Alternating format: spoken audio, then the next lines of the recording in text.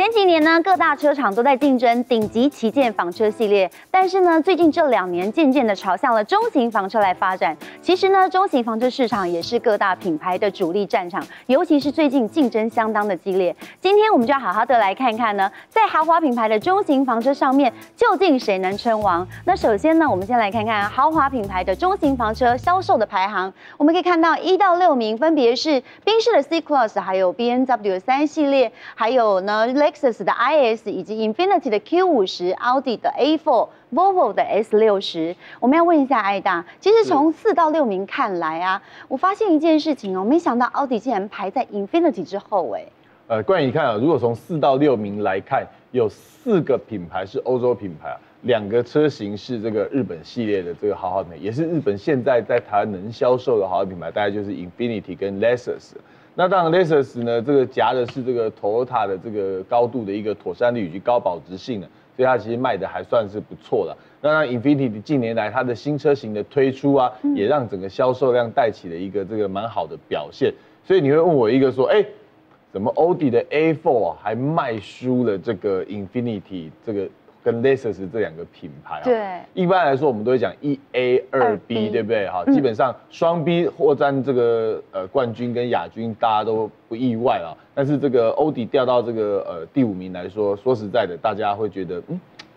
欧迪近年来是怎么了？那其实他在台湾的品牌上的经营，我觉得最近其实它这一两年来的销售量都表现的不是太好，甚至有这个衰退的一个这个状况。再加上它因为一些呃这个技术面的一些问题，然后导致它其实新车型一直迟迟没有办法在台湾上市。那当然，呃，消费者喜欢尝鲜的一个这个心态来说的时候。它的这个销售量当然会比较差一点点。那其实，在第六名的这个 Volvo S 六十上也可以看到，因为 S 六十呢，它其实已经是走入这个产品的这个周期的末端了。马上它的新车型要推出。不过 S 六十这个品牌，呃，以 Volvo 这个品牌来说，它是一个走这个北欧的这个极简的一个这个风格设计，带有家的温度的一种这个车辆设计。当它的这个安全性呢，也是消费者这个津津乐道的这一块部分。所以它的这个整体的表现呢，即便到它的它的这个生命的这个末端，产品周期的末端，其实表现的还算是可以啦。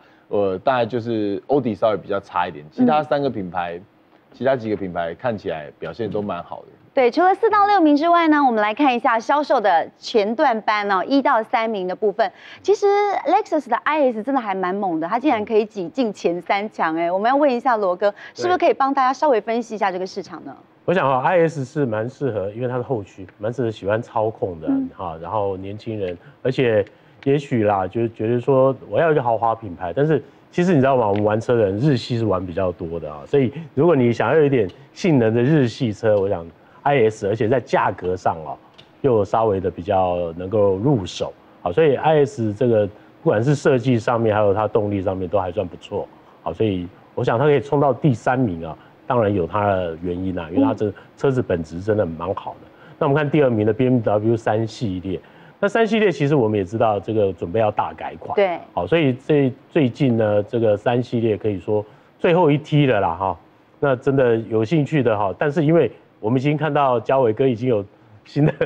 试驾影片出来，所以我想会变成有很多人观望，好，现在就会观望说，哎呦，新的三系列很棒耶，好，看起来各项又进步的幅度相当的大哈，所以这个可能造成最后这一批三系列可能就是出清为止了哈。那我们今天要看这个冠军，这个也不意外，就是 C Class，实至名归啊。对啊，对对对，那 C Class 这就是最近我们也介绍过哈，就是进行这个。呃，整个周期的中间的大型改款，它不管是外观，你看看整个车头的，光是那个头灯就变哇，上下两排啊就很帅。好，那比较特色的就是它 C 两百，好开始用了这个四十八伏特的系统，嗯，好这种呃轻复合动力，这个我相信是未来很重要的一个趋势。所以在这个 C Class 的改款上面，我觉得这个这个整个新世代的这种科技啊，让我们这个。眼睛为之一亮，就觉得这个车真的很棒。对，没错。其实居于榜首的这个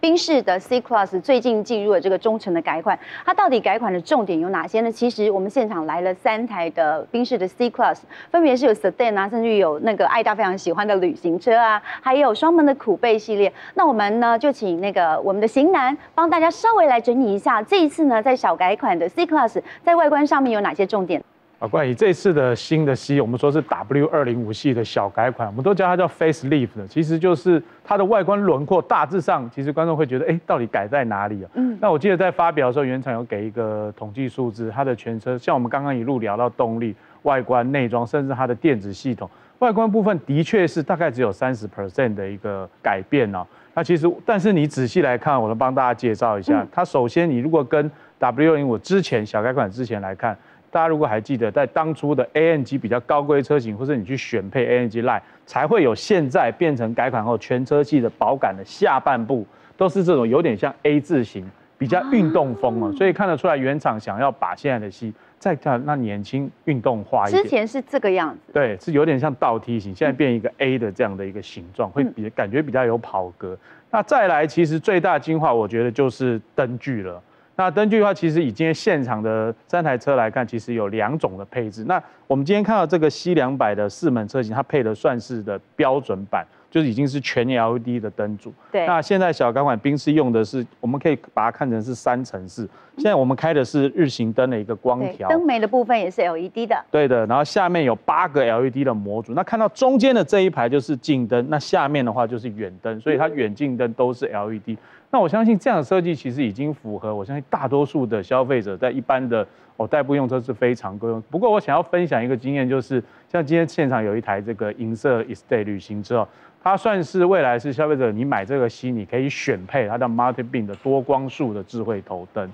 那我为什么会提特别有感触？因为他们在公办试驾的时候，我是抽到这一台车，然后我还特别晚上去试这台车，我想很好奇说 Multi Beam 到底是。酷在哪里？对，什么样的功能？对，那其实从实际试驾，我们在这个中部日月潭附近山路，几乎是没有路灯的状态。你会发现它的照明是非常聪明的，甚至对面如果有房车或是摩托车出来，它就会这台车也有选配这样的远光灯的自动调节，去对应对向来车，不要去射到人家的视线。那到了真的完全无路灯的山路的话，它的照明效果非常棒，它会很聪明的做，让你有一个很安全的一个视线照。哇，所以其实 Multi Beam 如果大家选的话，其实更能够提升你行车的安全。对，我觉得如果看个人的行车需，如果你常常要跑比较暗的地方，或者你开夜车的比例比较高，或是住山上，我觉得还蛮建议的。这就很需要了。嗯。那接下来我们来看一下车尾的部分有哪些改变呢？哦，其实这次新机在外形的这个车格定位选择，总代理也引进了非常多元啊。像我们在试车都要稍微研究一下它的这个规格表。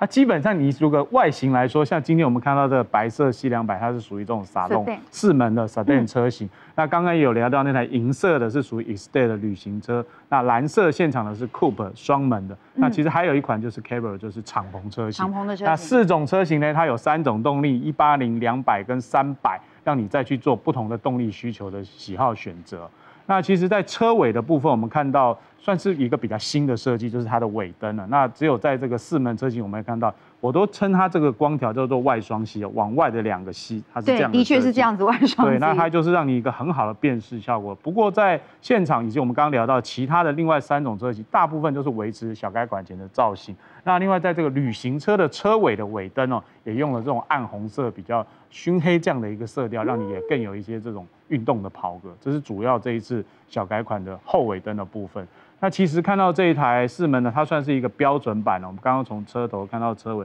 它有一些镀铬的饰条。那如果你再去，对你如果想要再更运动跑格，你也可以再去选到哦，像这台旅行车的 AMG Line 是它的标配。那你其他的车型也可以再做加价选配，它就会有哦更跑格，像是有后定风翼啦，或者是也有夜色套件。哦，拿掉一些镀铬的装饰，我觉得都可以让消费者满足你不同的喜。除了 C Class 推出了小改款的车型之外，我们也知道 B N W 三系列要进行大改款了，而且在明年准备要上市了。那我们要问一下小叶，其实这次的这个 B N W 三系列好像在动力上面没有太多的改变，是不是？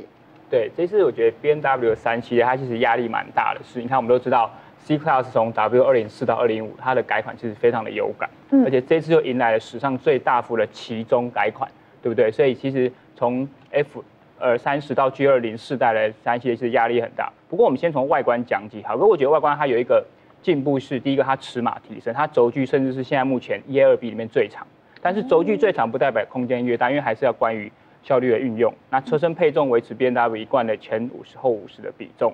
还有它的外形呢，我们可以看得出来，因为以前我们都会笑 B N W 的这个七系列、五系列、三系列有点像是俄罗斯娃娃，外面都长一样，你不断的打开，哎，好像都长得都一样，对不对？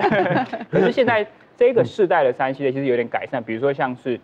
水箱护罩，像 X Five 一样，它的有点连在一起了，面积变大。然后那个头灯下面有多了一点轮廓的勾勒，其实很明显的看得出来，跟之前的三系列也好，跟五系列或七系列有点不同。不过像刚才冠宇讲到了动力的部分，哎，确实是真的没有跟之前有太大的不同。其实整个动力架构是一样的，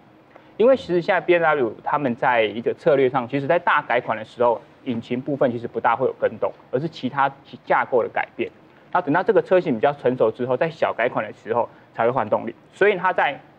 整个动力的编程上，三二零 i 跟之前一样，也是二点零升的涡轮增压引擎，马力都没有变，一样一百八十四匹。那它在那个三三零车型上也是二点零升涡轮把引擎，只是把它的动力速度变大。它原本的这个三四零 i 变成了 N 三四零 i 加了这个 N Sports 套件以外呢，还有一个 X Drive 四轮驱动，其实也跟这个 C Class 的 C 四三 Formatic 一模一样。其实可以说就是直接硬碰硬的来直接要对决的这样子。不过呢。我们都知道，像 C Class 来说，像它的 C 两百，它是不是换上四十八 V 轻型复合动力？对，所以在排气量比较小，动力效能也比较好。所以 B M W 这个方面有没有把在三系列来了之后可以迎头赶上？还有像是它这次改款，其实也有一个，呃，除了柴油车型以外，还有一个三三零一，它其实有一个插电式复合动力。而这个车型未来会不会来，或者是什么时候来？这个还不确定。嗯，虽然 B M W 的三系列已经进入了这个大改款，但是其实宾士呢，他们已经是真的提前预备了，所以这次在 C 的小改款上面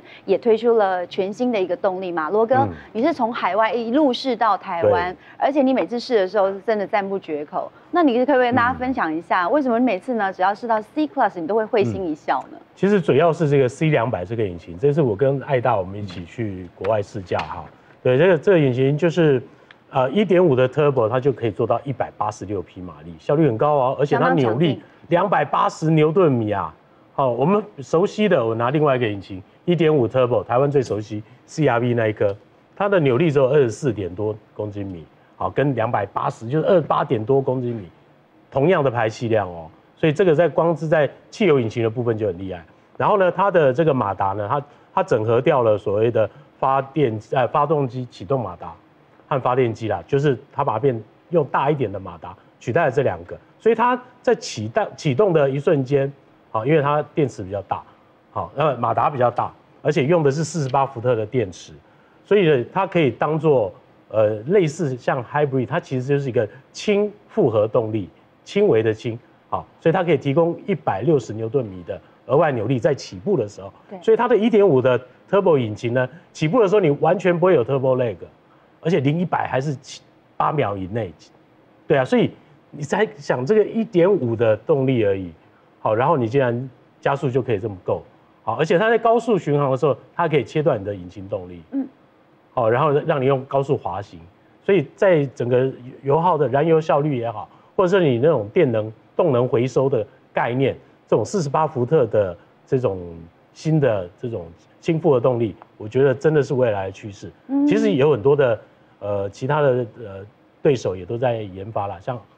福斯集团也在做了嘛。对对对，奥迪有。对对对，尤其像其实它那个呃新的那个锂电池啊，就是 Bosch 在开发的啦。所以哈，你就知道它其实，在电池这个领域里面，Bosch 是一个领导工业的啊地位。所以在欧洲很多的车型都会走这走上四十八伏特的未来。